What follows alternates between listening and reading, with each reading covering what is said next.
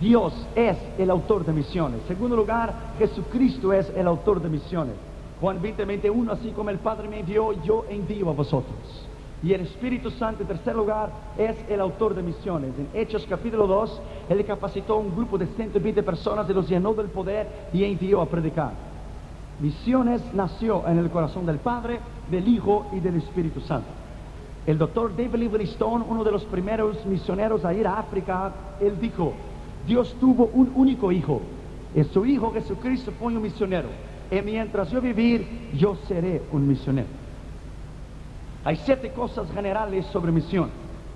Primero, cada cristiano es llamado a misiones y para cumplir un propósito específico en misiones. Tal vez no será misionero en otro lado del mundo, pero puede ser un misionero local en la iglesia, en su barrio. Segundo, cada cristiano deberá encontrar profunda razón para llenar su parte en misiones. Tienes que encontrar esta razón para encontrar tu lugar en misiones.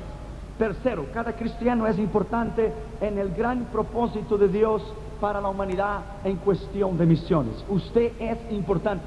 Usted tiene un llamado y Dios tiene un plan en misiones para tu vida. Cuarto lugar, cada cristiano puede agradar a Dios a la medida en que Él participa en misiones. Quinto, cada cristiano llena las esperanzas, expectaciones bíblicas cuando él participa en misiones. Sexto, cada cristiano puede ser entrenado, enseñado para participar en misiones. Séptimo, cada iglesia debe tener grandes facilidades para ayudar a cada cristiano a cumplir con las misiones. Le voy a dar rápidamente misiones, está de Génesis a Apocalipsis. Misiones es la prioridad de Dios en la iglesia. Génesis 3.15, la primera profecía mesiánica. Génesis 9.1.9, cuando Dios hizo un pacto con Noé, ahí está hablando de misiones. Génesis 12.1.3, el pacto de Dios con Abraham, yo te bendeciré a ti y todas las naciones de la tierra serán benditas en ti. Eso es misiones. Moisés en los sacrificios, esto era misiones. Las tres fiestas de Israel, Hosh Haná, la fiesta de las trompetas, Yom Kippur, la fiesta de la expiación, donde el sacerdote entraba cada 8 de octubre para ofrecer los sacrificios, un simbolismo de Cristo, y Sukkot, Sopar, la fiesta de, los, de los tabernáculos, todo esto era apuntando a Cristo.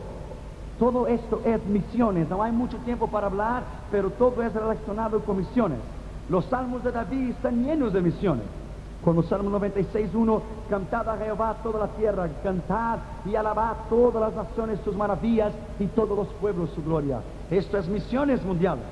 Algunos de los profetas también fueron grandes misioneros, como Ezequiel en el cautiverio de Babilonia, el gran misionero. Isaías, el gran evangelista misionero llamado el quinto evangelista. Jeremías, el profeta misionero enviado, capacitado y levantado durante la crisis de Israel. Jonás, el misionero extranjero en Nínive. Amós, el misionero pastor de ovejas y cultivador de sicómoros, Miqueas, el misionero a Samaria y Jerusalén, Habacuc, el misionero del avivamiento, y Sofonías, el, profeta misionero en Judá, y otros grandes hombres. Si nosotros nos deparamos con, con la palabra de Dios, de Génesis a Apocalipsis, hay una inmensidad que habla sobre misiones solamente para nosotros acompañar el crecimiento de la población mundial. Es necesario ganar para Cristo 62 millones de personas por año. 185 mil personas cada día y 128 por minuto, solamente para acompañar el crecimiento de la población demográfica o de la explosión demográfica en el mundo. Mueren 119.528 personas por día. 4.980 por hora, 165 por minuto y dos en cada tic-tac del reloj. Nosotros necesitamos de un avivamiento. En primer lugar dice la Biblia, y rodeaba a Jesús por todas las ciudades y aldeas. Aquí Jesús recorre como un verdadero misionero los diversos lugares del país. No espera que los hombres vayan a Él, pero Él va a ellos. Hay personas que nunca jamás vendrán a la iglesia. Es necesario ir a esas personas en la calle. Es necesario ir a donde ellas están. Cuando Dios me llamó a mí al ministerio, yo dejé una universidad de medicina y la, la el, el, bater, del batir de- del corazón mío es misiones. Yo sueño con misiones, yo como con misiones, yo duermo con misiones, yo me levanto en misiones. Yo fui misionero en España, en Japón, en Brasil, en Europa. Yo amo misiones, yo amo. Este es mi llamado, misiones. Mi corazón arde por misiones, arde por ver un mundo bajo el liderazgo y marchando sobre la bandera de Cristo. No hay tiempo esta mañana para que yo le pueda hablar sobre el avance y la estrategia de los musulmanes. Ellos tienen 900 millones de personas. Ellos están ganando el mundo entero. Aquí en la calle Vermont, en Los Ángeles, ellos están haciendo la mayor mezquita de los Estados Unidos para 9 mil personas. Es increíble. En el Brooklyn, Nueva York, ellos están comprando ah, bloques enteros, edificios. Ellos tienen sus universidades, ellos tienen sus escuelas, ellos estudian el Corán, ellos están ganando el mundo entero.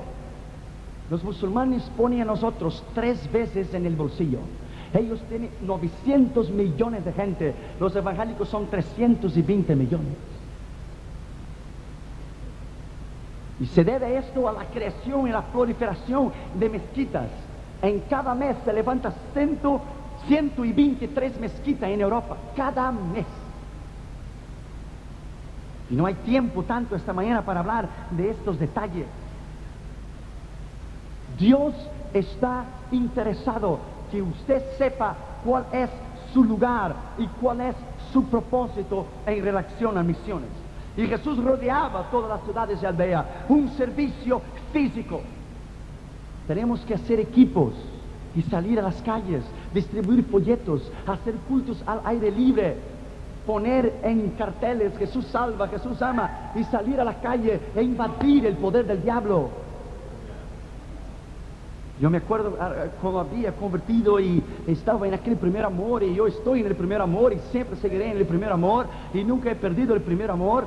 Yo iba allá y compraba las literaturas y pasaba toda la noche poniendo el, el- el- el cuño de la, de la dirección de la iglesia. Una vez compré ocho mil literatura y de las nueve de la mañana hasta las nueve de la noche a las seis de la mañana puse yo y mi hermano poniendo el cuño en los folletos, quedó mi mano llena de callos y el otro día a las 10 ya estamos en las calles ganando almas para el Señor. Este es deseo, esta es pasión, esta es pasión por ganar las almas.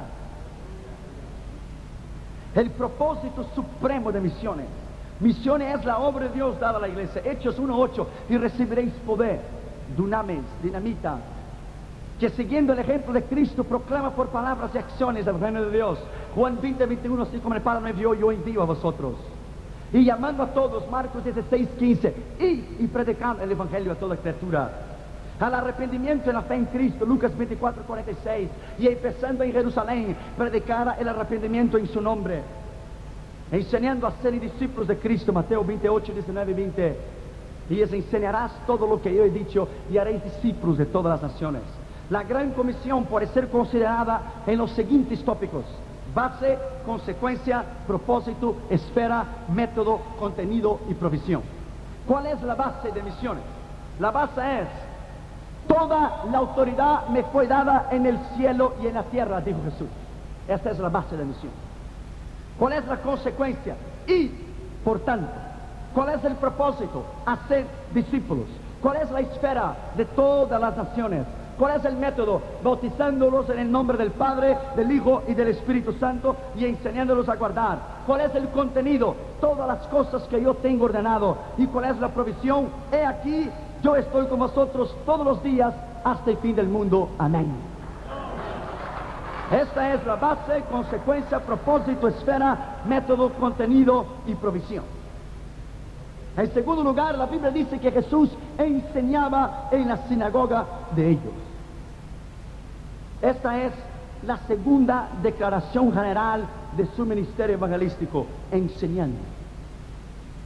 Nosotros somos llamados para enseñar. Nosotros somos llamados para enseñar. Esta palabra enseñanza en el griego es didasco, que quiere decir instruir, entregar un discurso detallado, minucioso, impartir conocimiento, compartir el conocimiento con otra persona, explicar detalladamente. Cristo fue el gran maestro entre todos los hombres. Las gentes se maravillaban por las cosas que él le enseñaba. 35 entrevistas perso- personales de Cristo es registrada en los evangelios de personas que vinieron a Él. A algunas Él predicó, otros Él enseñó. El maestro que enseña la palabra de Dios debe permitir preguntas de otras personas concerniente a lo que Él está enseñando, para que las cosas estén claras. Mateo 13, 10, 11 dice, entonces preguntaron sus discípulos, ¿por qué hablas por palabras? Y Jesús respondiendo les dijo, porque a vosotros es concedido saber los misterios del reino de Dios. Y el versículo 51 dice Jesús, ¿habéis entendido todas esas cosas? Y los discípulos respondieron, sí Señor, lo hemos entendido. La enseñanza es impartir la verdad detallada y minuciosamente. La predicación es ser pregonada en un lapso de tiempo. También Jesús fue instruido en la palabra de Dios desde niño, a pesar de que él mismo era la palabra. Lucas 2.46 dice, después hallaron el niño Jesús en el templo, sentado en medio de los doctores, oyéndoles y preguntándoles. Y el versículo 47 dice, todos los que le oían se pasmaban de su entendimiento y de sus respuestas. Deuteronomio 4.9b dice, y tú enseñarás a tus hijos y a los hijos de tus hijos. 11, 19, Deuteronomio dice, y las enseñarás a tus hijos. Ora, ora sentado en tu casa, andando por el camino, cuando te acuestes, cuando te levantes, escribirás en las puertas, en las paredes y los umbrales de las puertas. La enseñanza de la palabra de Dios, lo vuelvo a recalcitar, es la base para que podamos ganar almas para Cristo. Porque es imposible hablar de alguna cosa si no tenemos entendimiento o conocimiento de algo. Para usted ser un doctor, usted tiene que estudiar cinco años la medicina y hacer dos años postgraduado y un año de estaje en el hospital. Son ocho años hasta que usted corre en su mano un cuchillo para abrir a una persona. Mucho más requiere la palabra de Dios que seamos instruidos, calibres, que seamos, como dijo Pablo, que nadie tenga vergüenza, no tengas vergüenza, pero que tú manejes bien la palabra de la verdad. Así podemos ir y podemos ganar, ganar las personas. Hay una definición en cuanto al asunto de misiones cristianas. Tanto los misioneros nacionales como los internacionales, aquellos que sirven al Señor en tierras lejanas allá en el otro lado del mundo. Misiones cristianas significa el impartir el Evangelio a los inconversos a todas las partes del mundo. Misiones viene del latín mito, que quiere decir yo envío. De ahí viene un misionero que es enviado, apóstol, en el griego apostello, yo envío. Es sinónimo de misionero. Y esta palabra más reciente más conocida puede ser sustituida por la primera palabra en todo el Nuevo Testamento sin alterar el sentido, misioneros. El quinto libro del Nuevo Testamento puede ser llamar los hechos de los misioneros, los hechos de los apóstoles. El término misiones implica tres factores esenciales que son, primero, uno que envía, segundo, uno que es enviado y tercero, uno a quien es enviado. Los motivos misioneros son muchos, muchos son los motivos misioneros. La Biblia declara que los paganos están sin excusa respecto de sus ritos idólatras y sus prácticas abominables. Tanto el moralista gentil como el legalista judío, sean paganos bajo su propia conciencia, o judíos bajo la ley, o oidores del Evangelio bajo la gracia, todos son conducidos a un veredicto final de culpabilidad contra toda la raza humana delante de Dios, si no lo reciben como su Señor y Salvador. Por eso tanto es la necesidad de misiones que tenemos que, que, que entrar en el carro como hizo Felipe, entró en el carro, se comprometió con él, habló de la escritura del eunuco, se convirtió y al mismo tiempo le bautizó. Obra completa. Tenemos que entrar en el carro, asumir responsabilidad. No solamente estar en él, pero asumir la responsabilidad. Ter tercer lugar, y predicando el evangelio del reino. Nosotros no predicamos un evangelio sustituido o un evangelio puramente humano y sin poder. Evangelio es good news, buenas nuevas. También aquí vemos la segunda declaración general de su ministerio evangelístico de Jesús predicando. Antes él enseñaba, ahora él predica. Esa palabra predicando en el griego es keruxo, que quiere decir un heraldo público o anunciador, proclamar o que habla un discurso, un speech. La palabra enseñanza es referida 168 veces iguales en los dos testamentos, tanto en el Antiguo como, como el Nuevo. Pero la palabra predicar es referida solamente cinco veces en el Antiguo Testamento y 138 veces en el Nuevo Testamento. Predicar es con el propósito de llamar la atención del hombre hacia la verdad, a la medida que enseñar es el trabajo de hacer que esta verdad sea clara y con entendimiento.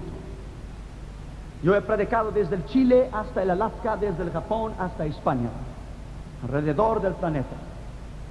Pero algunas veces he enseñado. Esta semana ha sido enseñanzas, por eso que a veces pasamos de 60 minutos o vamos a 65 o 70 minutos, porque es de enseñanza, yo tengo que hablarle detalladamente. Un mensaje es 30, 35 minutos. Billy predica 20 minutos, ese es un mensaje. Y cruza sus brazos y miles de gente viene a recibir a Cristo.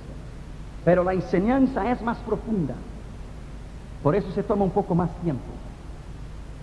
Él predicaba el Evangelio del Reino. Este es el único evangelio que puede cambiar al hombre. Tolstoy dijo que hay un vacío en el corazón del hombre que solamente Dios lo puede llenar. Nadie más. Yo he conocido hombres grandes. Yo he conocido presidentes en el norte de África, primeros ministros. He conocido personas que no saben leer ni escribir, analfabetos, desde los que viven en palacios a los que viven en casas pequeñas. Todos ellos tienen algo en común ellos tienen una necesidad por Dios. Todos ellos son iguales. Ellos pueden hablar portugués, chino, judío, español o hebreo. Ellos son iguales. Ellos pueden ser negros, blancos, amarillos o rojos. Ellos son iguales. Su corazón es igual, su pecado es igual, su necesidad es igual. Por lo tanto, la Biblia es el único libro que puede satisfacer al hombre por ser un libro para todas las culturas y todas las naciones. El Evangelio del Reino. Zedong, el gran misionero alemán, dijo, tengo una sola pasión, él y solo él. David Brenner, el gran misionero enviado a los indios de piel roja, dijo, yo quiero gastar mi vida en su servicio y para su gloria me regocijo en mi necesidad de abnegación personal. No me importa dónde, ni cómo, ni cuándo, ni qué dificultades encuentro, con todo y solo con el fin de ganar almas para Cristo. Hay muchas responsabilidades sobre misiones. Cuarto lugar, la Biblia dice, y Jesús iba sanando toda enfermedad y toda dolencia en el pueblo. Eso es parte de la iglesia. E iba sanando toda enfermedad y toda dolencia en el pueblo. Aquí vemos la segunda declaración general de su ministerio evangelístico, sanando. Jesús estaba predicando, enseñando y sanando. Este es un misionero completo. Predica, enseña y ora por los enfermos y son sanados. Es la segunda declaración general de su ministerio, sanando. Entonces hemos visto a Jesús enseñando, predicando y sanando, como Mateo 4:23, cuando fue la primera declaración, y es el mismo versículo que aquí, Mateo 9:35, y rodeó Jesús toda Galilea, enseñando en la sinagoga de ellos y predicando el evangelio del reino y sanando toda enfermedad y dolencia en el pueblo. Es el mismo versículo de Mateo 4:23, es el mismo versículo de Mateo 9:35. Jesús iba sanando. La iglesia tiene un papel no solamente único, pero un papel diverso en muchas cosas. El ministerio es un ministerio completo, pero es un ministerio con muchas ramas. Esta palabra enfermedad en el griego es terakio, derivada de tiroquio, que es poseer enfermedades es traducida 38 veces la sanidad de enfermedad, 5 veces para la cura de enfermedad en la escritura. La palabra dolencia, quiero hacer bien claro que enfermedad es una cosa, dolencia es otra cosa, molestia es otra cosa y plaga es otra cosa. A veces la palabra de Dios menciona todas juntas, pero una cosa es distinta de la otra. La palabra enfermedad en griego es tirakio, derivada de tiropio, pero la palabra dolencia en el griego es nosos, traducida molestia, seis veces enfermedad, cinco veces traducida, una vez traducida como plaga. Lucas 7, 21, no como otro vocablo griego, malaquia, como en Mateo 4:23, designado a enfermedad. Ese es el original griego.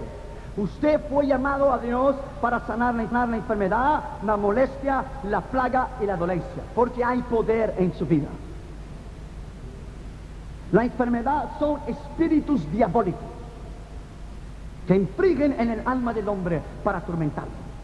La palabra sanando Jesús aquí en el griego es holocleria, que quiere decir completamente sanado. Esa palabra es traducida diaxigo, completamente sanado. Cuando Jesús sanaba, Jesús sanaba y hacía una obra completa. Él nunca hizo una obra en parte. Y sanando Jesús. 23 veces está escrito, Él los sanó a todos, o Él sanó a cada uno. Pero esa palabra en inglés es the whole body, todo el cuerpo sano, completo. Otra palabra en el griego para sanando es holocleria, como en Hechos 13, 16. Y la fe que es por Él, Jesucristo, ha dado a este hombre completa sanidad en presencia de todos vosotros. Un misionero que es enviado en el campo misionero en el otro lado del mundo. Él tiene la tarea. Como yo ministré en Uganda, yo ministré en Nigeria, en Marruecos, en Egipto, yo cargaba niños muertos en, en, eh, que, se moría en el desierto y entregaba sus manos. En Etiopía no hay comida, no hay agua, no hay nada. Y habíamos sido llamados para orar y para orar por ellos para que sanara su enfermedad. Ahí en Etiopía muere 10 mil niños por día. Eso es un espíritu. Y Jesús envió a todos nosotros para sanar enfermedades. Como Mateo 10.1, y os dio poder para sanar todo tipo de enfermedad. Todo tipo es enfermedad, dolencia, molestia y plaga. Él dio, por eso dice todo tipo, porque cada enfermedad tiene un tipo. Esa es la palabra que hace distinción.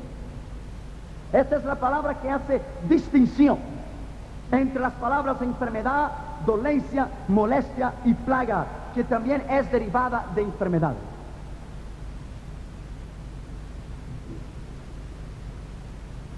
Mi esposa y yo fuimos el otro día aquí en Los Ángeles, una mujer estaba muriendo de cáncer. Ella tenía todas las partes del cuerpo de ella al lado de fuera en una bolsa plástica. Ella se estaba muriendo. El médico le dio a ella tres días. Estaba muriendo. Tres días para vivir y si continuaba a vivir lo podía alcanzar dos meses, que era el máximo. Yo llegué en el cuarto, cerré la puerta y dijo, ¿usted cree que Dios le puede sanar? Dijo, yo creo. Muy bien, si usted cree es el principio de su sanidad. Usted tiene que creer. Yo puedo creer con mi fe, pero usted cree con su fe y lo juntos lo ponemos nuestras fe y oramos. Estaba mi esposa, yo y un pastor. Ponemos el aceite de la unción y pusimos sobre ella y oramos y la gloria de Dios descendió en el lugar. El otro día estaba en Los Ángeles terminando una campaña domingo por la noche y corrió una diaconisa y subió a la plataforma cuando yo estaba dando introducción al mensaje. Irión, Irión, Irión. Algo sucedió ayer. ¿Qué sucedió ayer, hermana? No estaba pensando en esto. El médico fue a ver a esta mujer esta mañana y fue a hacer los exámenes en esta mañana, que era domingo, fue el sábado. Ella tenía promedio para vivir hasta lunes. Gideón, cuando el médico fue a ver a esta mujer, todas las partes de adentro de su estómago estaban nuevas. El hígado, el vaso, todo. Y las partes de afuera estaban podridas. El médico la hizo examen en ella y le mandó para casa para vivir. Esto no es trabajo de un hombre, esto es Dios. Esto es Jesucristo. Esto es Dios. Él dio poder para sanar. Y en la sanidad Él glorifica su nombre. Quinto lugar, la Biblia dice, y viendo las gentes Jesús, aquí está, tuvo compasión de ellas porque estaban derramadas y esparcidas como ovejas que no tenían pastor. Esa es una de las bases de misiones, compasión. No puedo predicar por una profesión, no puedo enseñar por una profesión, yo tengo que hacerlo por amor y compasión. Cualquier otra profesión es, usted recibe su cheque porque, porque usted trabaja por el, para el hombre, pero con Dios no es así. Nosotros trabajamos por Dios y somos motivados por amor y nosotros lo damos a Él porque Él a dio nosotros primero. Nuestra responsabilidad, misiones. Primero es una responsabilidad distinta y espiritual. Nuestro trabajo, como el de ellos, de los misioneros del pasado, no es ni comercial, ni político, ni aún filantrópico. Nuestra responsabilidad no es la reconstrucción del Estado, ni de la sociedad, aunque nuestros mensajes puedan ejercer una influencia poderosa en esos aspectos de esta vida. Pero nuestra responsabilidad, misiones, es con compasión en el alma una necesidad espiritual. Segundo, es una responsabilidad única afirma que todos los hombres están en una situación desesperadora para la cual Cristo es el único remedio divino para el pecado. Tercero, es una responsabilidad determinativa. Debe gobernar nuestro espíritu, nuestra alma, nuestro hombre interior, nuestro cuerpo y dirigir nuestras fuerzas y métodos hasta el mismo fin, la salvación eterna del hombre. Alguien correctamente lo ha llamado el libro de los Hechos como el movimiento misionero laico del primer siglo. Eso porque los apóstoles estamos determinados a llevar esta palabra en todas las partes. Cuarto lugar, es una responsabilidad de cada cristiano. El mandamiento y no se acabó en el primer siglo con los primeros cristianos.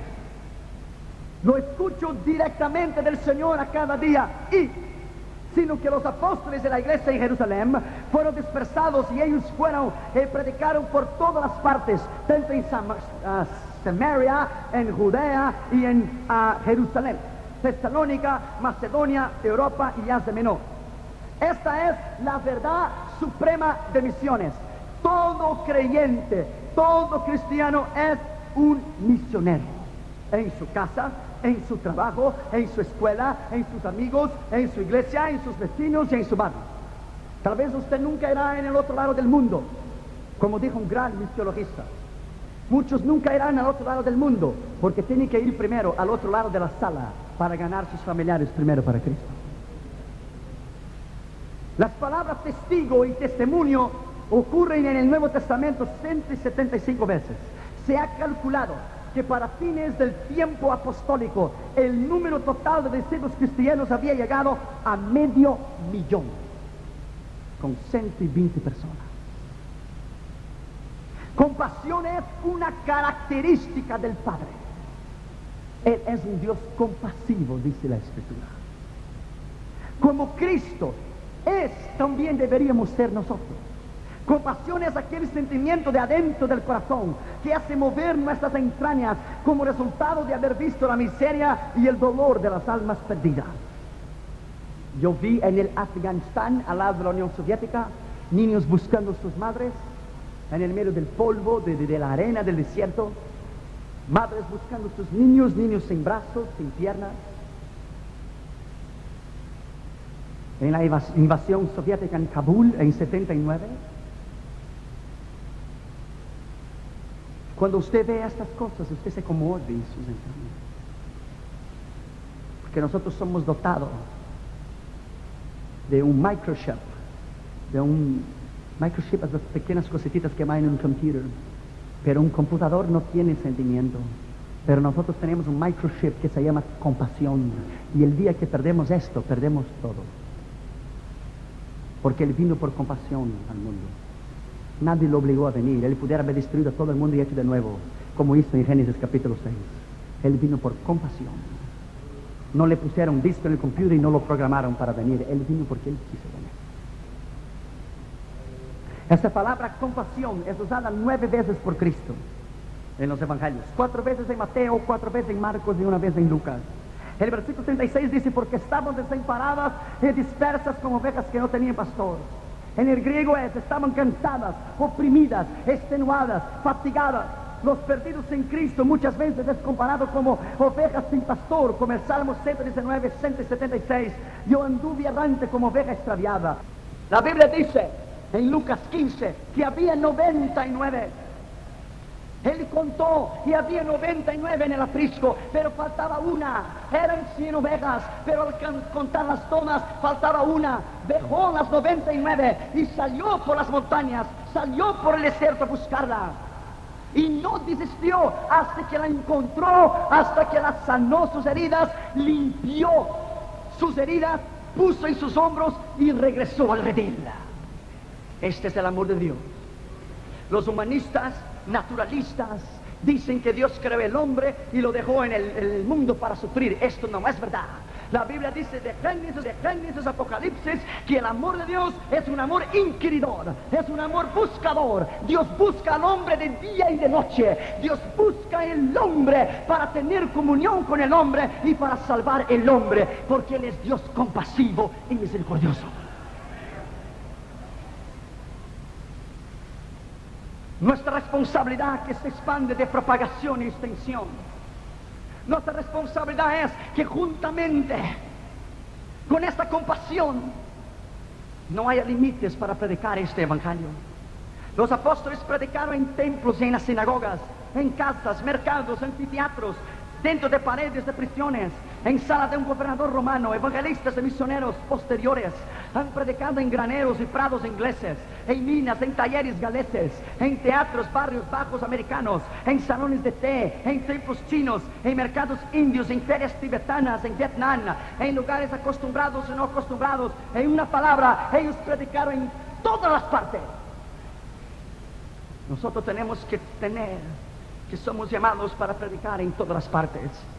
Fueron formados centros evangelísticos en Jerusalén, en Capernaum, en Antioquia, en Efesio, Corinto, Roma. Esos sobresalen tan claramente las misiones del Nuevo Testamento como centros misioneros estratégicos para el crecimiento de la iglesia. Antioquía era uno de los primeros centros cristianos y había en la iglesia de Antioquía Hechos 13.1, profetas, doctores y maestros. Y dijo el Espíritu Santo, ayunando, orando, esperando y ministrando al Señor. Separadme a Pablo y Barnabé para obra que yo tengo destinado. Esta es una responsabilidad de entrega, pasión, ejemplo, imitando a los misioneros del pasado como fuente de inspiración. La Biblia nos dice en Hebreos 11:38 que hombres de los cuales el mundo no era digno. Algunos fueron estirados, otros fueron vituperados, otros azotados, otros estuvieron en prisiones, en cárceles, otros fueron apedreados, cerrados al medio, tentados, prisiones, cárceles.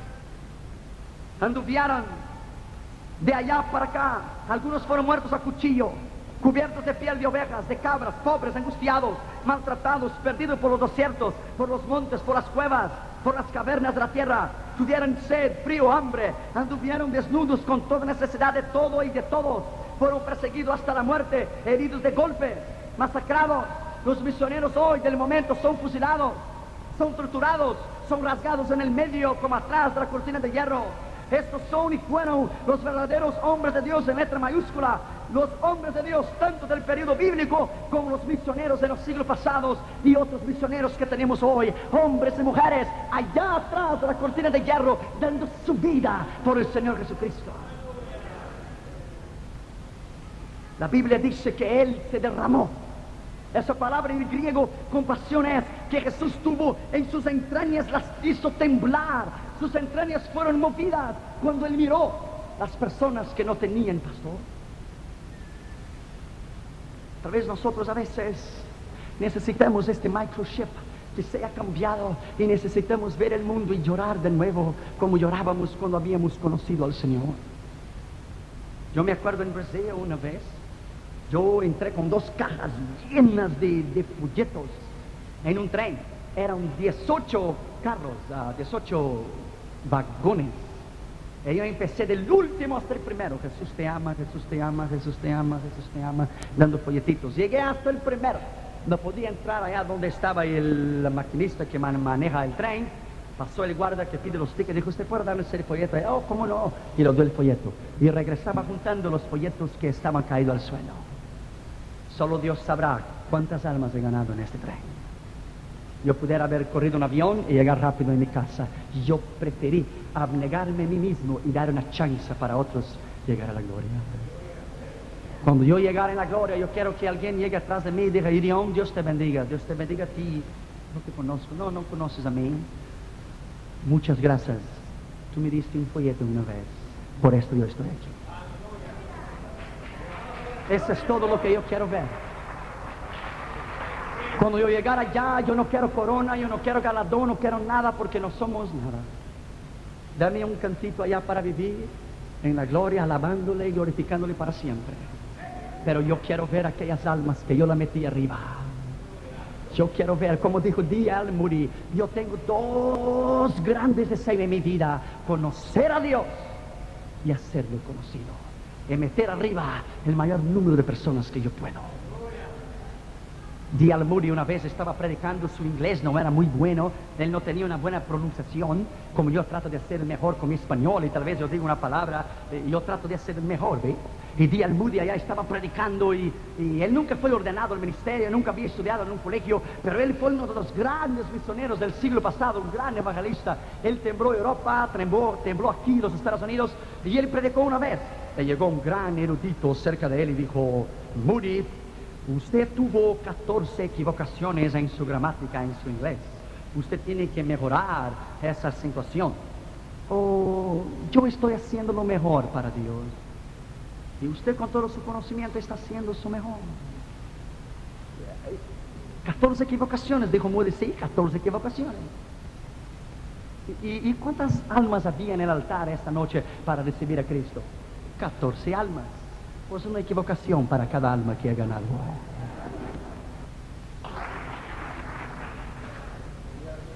John Wesley era al contrario, era un hombre que enseñaba lógica en la universidad en Inglaterra, era un hombre preparado. Vino un hombre a él una vez y dijo, Wesley, Dios no necesita de tu sabiduría. Y Wesley dijo, Dios tampoco necesita de tu ignorancia. Dios puede usar a todos. Pedro era un pescador, pero fue el primero a predicar su sermón en la iglesia primitiva. Lucas era un médico, Pablo era un poliglota que hablaba muchos idiomas, educado a los pies de Gamaliel, un hombre celoso, celoso en la ley, un hombre sabio y preparado. Dios usa a todos.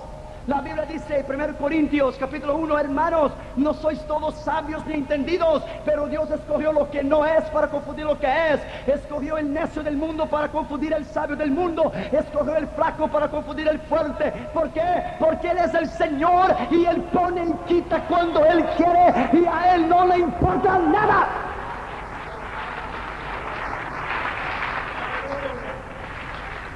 A Dios no le importa nada. Los hombres salvos son comparados a ovejas resgatadas, como en Lucas 15, 6. Dame felicitación porque he hallado mi oveja que se había perdido. Juan 10, 1, 29, Jesucristo dijo, yo soy el buen pastor. El buen pastor da su vida por las ovejas. La palabra traducida compasión en el griego es tener lástima, que significa propiamente conmoverse a sus extrañas hasta hacerla temblar y expresa esta dolorosa simpatía por el mundo perdido. Aquí este sentimiento de tierno amor es visto por las multitudes semejantes a ovejas sin pastor, las que están no solamente dispersas y errantes, sino fastigadas y asientes. En el griego y asiente es arrojadas, echadas a un lado, sin esperanza que es exactamente la condición de una oveja privada, sin alimento, dirección, protección, que solamente el pastor verdadero la puede dar. Cuando usted caminar por las calles del mundo, de cualquier otra parte del mundo, camine con el corazón de Cristo. Camine con el corazón de Jesús. Yo estaba en Porto Alegre, Brasil, mi ciudad una vez, y había un hombre todo sucio que estaba llorando en el medio de la calle yo había salido y ya andaba yo distribuyendo los folletos. Y ya era las diez y media, el culto había terminado a las nueve, y yo estaba agarrando almas para Cristo. Y allá había un hombre sucio mirando a una botella de basura. About uh, garbage, basura, basura, desperdicios. Y él estaba mirando y estaba llorando, llorando, llorando. Y yo pasé para el otro lado del sidewalk, de la acera. Vine a él y dije, Señor, ¿por qué usted está llorando? Él dijo, no me preguntes, si usted está con su traje y su corbata, yo soy un miserable. No hay problema. Quité el traje, quité la corbata y la puse a un lado. Ahora podemos hablar. Acabo de matar a un hombre. Perdí mis hijos, mi esposa, y aquí traigo un cuchillo para suicidarme. Ahí, en este botella, uh, lugar de basura, Está viendo aquel gatito, gatito, cat, aquel gatito que está ya tratando con sus uñas a rasgar aquellas botellas de basura para ver si hay comida. Sí, estoy viendo. Pues yo he ido antes que él para ver si había alguna comida en ese bote de basura. Para mí no hay nada. Tú te quebras. Tú te, quieres que la tierra te trague a ti. Miré a aquel hombre, le di un abrazo, dice, va a terminar tu tristeza. Saqué a él, llegamos a un lugarcito, le compré dos hot dogs, dos perros calientes con una Coca-Cola. Cuando él estaba, cuando comió y cuando bebió, dijo, ahora siente, yo quiero que tú me hables. Le hablé del Señor a él, las lágrimas caían de su rostro. Él dijo, joven, aquí está el cuchillo que yo me iba a suicidar. Yo quiero ir a una iglesia y yo quiero conocer a este Jesús que tú predicas. Y se convirtió. Hoy es salvo. Aquella noche ya era las 2 de la mañana, yo seguía distribuyendo folletos. Yo iba con una bolsa que cabía 3.000 literatura, 1.500 en cada lado. Mi madre andaba loca llamando a todos los lugares donde yo andaba. Encontré dos mendigos temblando de frío que estaban ahí en la calle. Mi madre había hecho una colcha, una cobija, a manos, puntito por puntito. Había llevado tres años para hacerla para mí. Yo subí en los piecitos. Abrí la puerta, subí al cuarto, corrí aquella colcha que mi madre había hecho, fui allá en la calle y le di para ellos.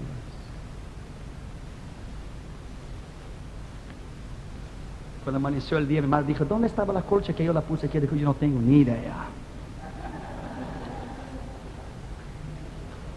La compasión es lo único que la iglesia puede hacer.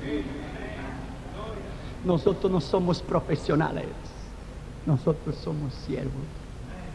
Siervos de una iglesia y siervos de un pueblo. Llevando la muerte de Cristo todos los días para que la vida de Cristo sea glorificada en el día que Él venga a llevar su iglesia.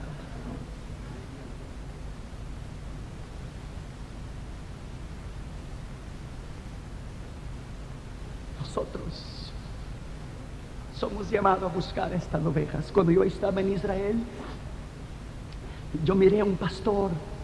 que Es interesante como Jesucristo dijo, ellos, las ovejas oyen mi voz y ellas me conocen y siguen a mí, no al ladrón. Yo miré al pastor con un, no sé cómo es español, un callado este, una vara del pastor que tiene una voltecita. Venía con esta vara en la mano y él ponía las ovejas a andar en el redil. Y un perro daba vuelta ya por atrás cuidando las ovejas. Y él hablaba, oh, y las ovejas seguían su voz. A donde él iba, las ovejas le seguían a él. A donde él cambiaba, las ovejas le seguían a él. Y yo estaba mirando nomás. Y me vino la escritura, yo soy el buen pastor. Las ovejas oyen mi voz y me siguen a mí. El mundo está esperando una voz de nosotros. Jesucristo dijo, hay otras ovejas que conviene que vengas a redimir.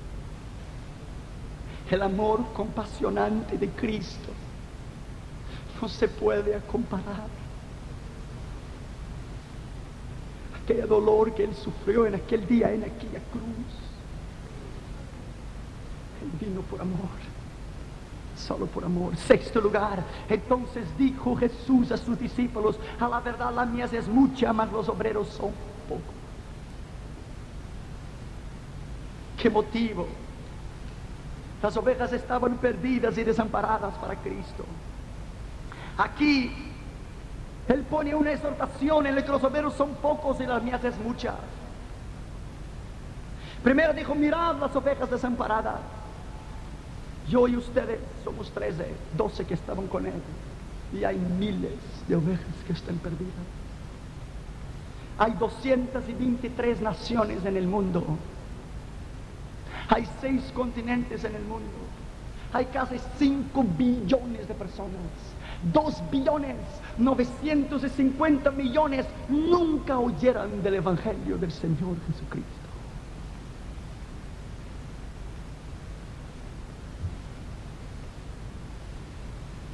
Para la ciega de las almas se necesitan obreros. El trabajo cristiano es comparado con una, con una ciega. Juan 4:35 no decís vosotros, aún hay cuatro meses hasta que llegue la siega. He aquí os digo, alzad vuestros ojos y mirad los campos porque ya están blancos para la cosecha.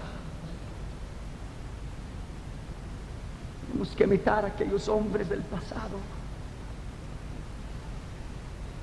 Si Usted, usted puede conseguir los libros de, de- de- de- biografía. Consiga estos libros y coma y beba de, de las biografías de estos grandes hombres del pasado. Hombres como David E. Brenner, el que influ- influyó sobre Enrique Martin para que este se hiciera misionero. Este por su vez influenció a Guillermo Carey y Carey influenció sobre Adoniram Judson. Así traemos la genealogía espiritual misionera paso a paso. Hus, Wycliffe, Frank Zinzendorf, Wesley, Whitterfield, Brenner, Carey, Judson y otros. Otros grandes hombres de Dios y grandes misioneros como Jerónimo Savonarola, Martin Lutero, John Byman, Jonathan Edwards, George Whitterfield, Christopher Eves, Charles Finney, George Miller, David E. Brenner, David Livingstone, John Patton, Hudson Taylor, Charles Spurgeon, D.L. Moody, Pastor Ritchie, Jonathan Gofford, John Hyde, Robert McKenney, Smith Wigglesworth. Este resucitó a 17 muertos durante su ministerio a través de Cristo. Gypsy Smith, Bill Sunday, William Butch, Oswald Smith, y los misioneros de nuestra época, verdaderos grandes hombres de Dios, los predicadores, Lauren Cunningham, el fundador de YWAM, Youth of the Mission, y tantos hombres de Dios que son reconocidos, pero cada pastor en cada iglesia, cada diácono, cada líder, cada laico, cada evangelista, cada maestro, todos ellos están escritos allá arriba en los anales de la gloria, conocido o no, todos son iguales delante de Dios y son llamados a una tarea mundial para hacer temblar el infierno con el poder del Espíritu.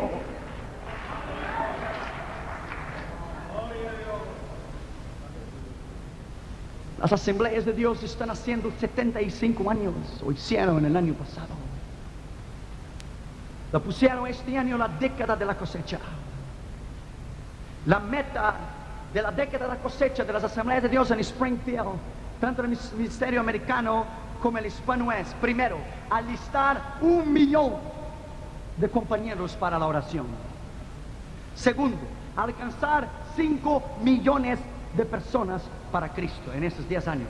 Tercero, preparar y discipular 20 mil personas para el ministerio. Y quinto, fundar 5 mil nuevas iglesias. Para que la Asamblea de Dios haga esto, ellos necesitan de usted.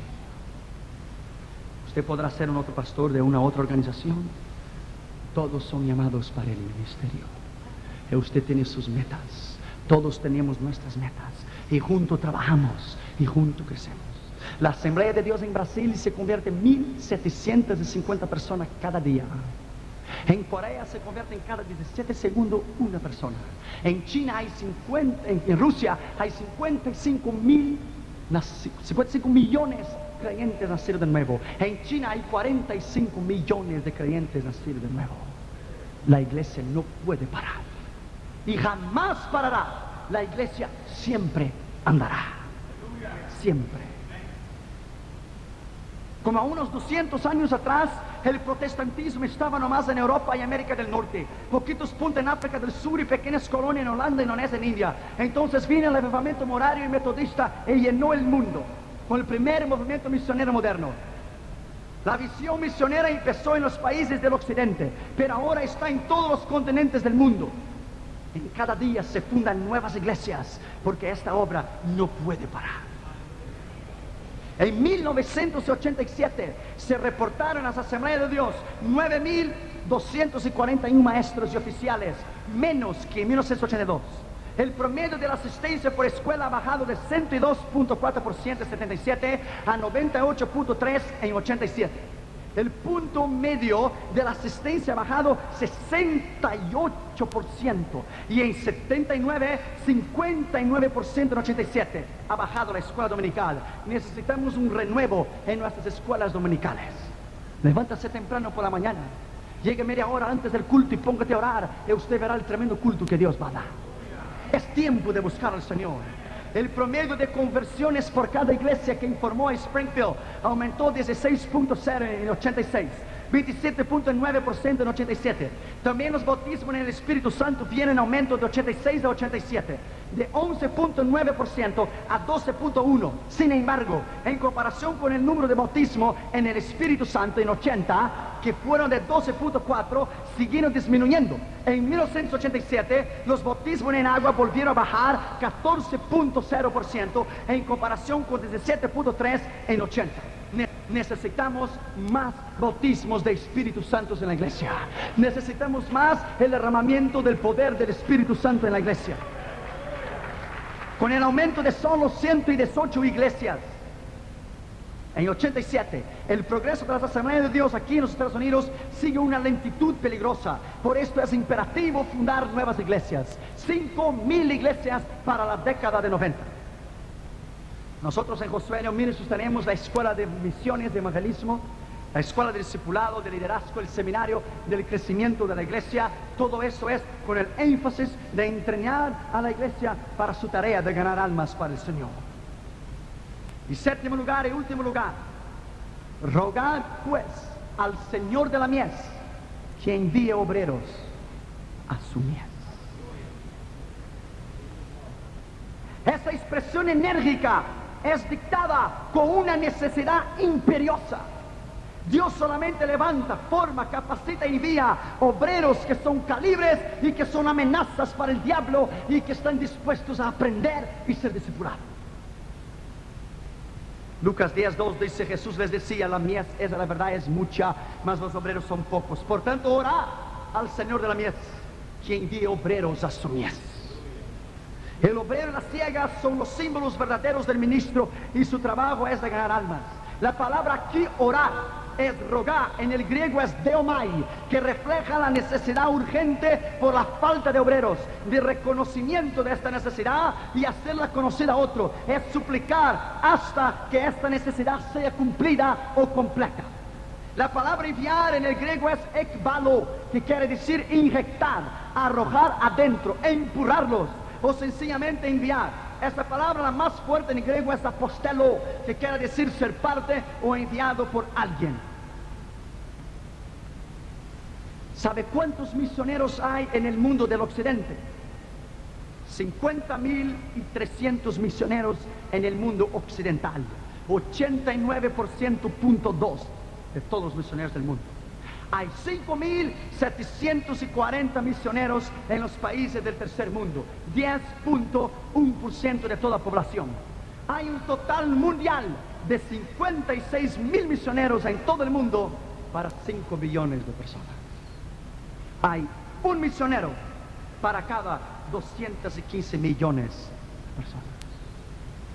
Rogad al Señor de la mies, porque la mies es mucha y los obreros son pocos. Hay mil y cien agencias en el mundo que envían misioneros. Aquí en los Estados Unidos hay 620 agencias. En Inglaterra hay 150 agencias. Estos dos hacen 34% de todos los misioneros del mundo. Y en el tercer mundo hay 200 agencias, siendo Brasil el país que lidera la salida de los misioneros en todo el mundo. Vámonos a poner en pie.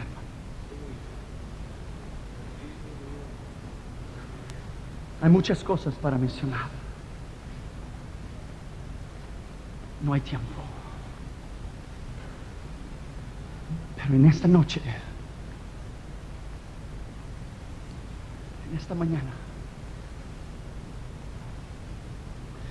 si no va haber compasión en nuestra vida, y si no va entrega en nuestra vida, no lo podemos hacer. Falta tiempo para hablarte de las estadísticas mundiales de misiones, los hispanos en los Estados Unidos de América, las estadísticas urbanas del mundo, las estadísticas generales del mundo, África, Asia, Australia, Europa, Estados Unidos. No hay tiempo. Pero esas estadísticas aquí, hermanos, esas estadísticas aquí, a veces no me dejan dormir ese día. De cada persona que hay en el mundo, de cada siete personas que hay en el mundo, una es musulmana.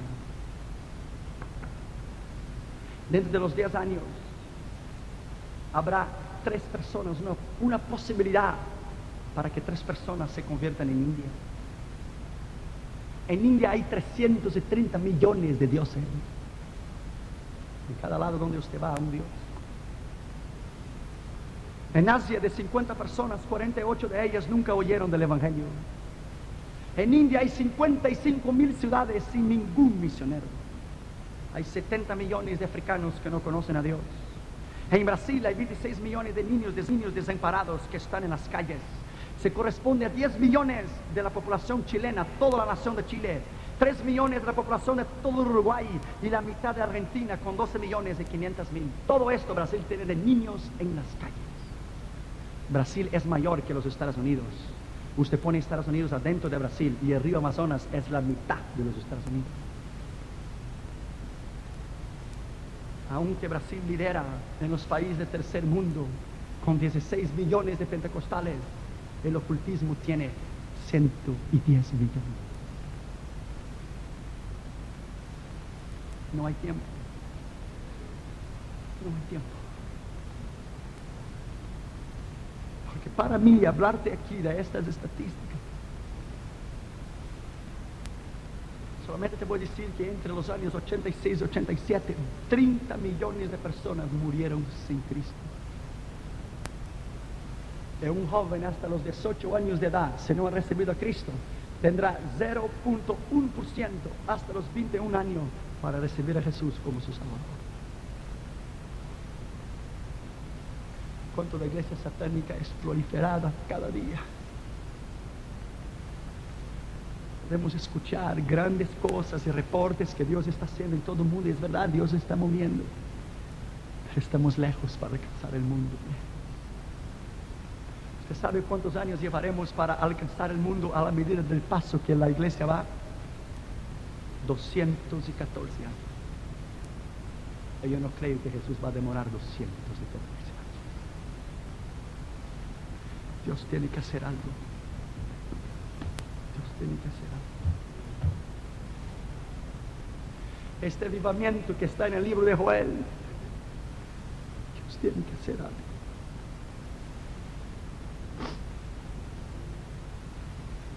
Yo he visto la necesidad del mundo usted a mí.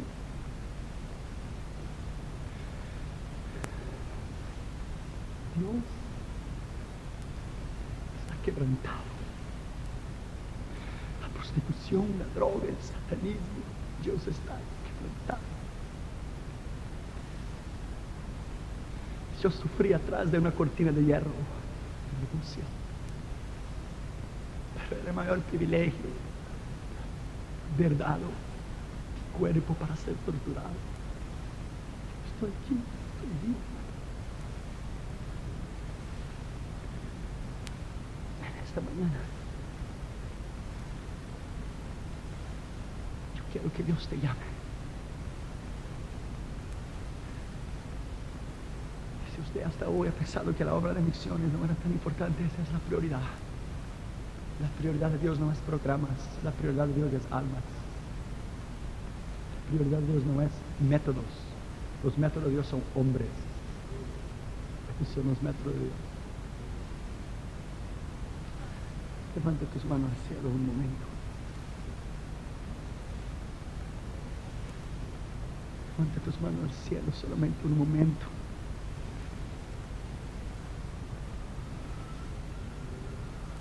Y yo quiero que usted cuando salir de aquí esta mañana, usted sale con su corazón quebrantado. Quebrantado. En esta noche, esta mañana digo,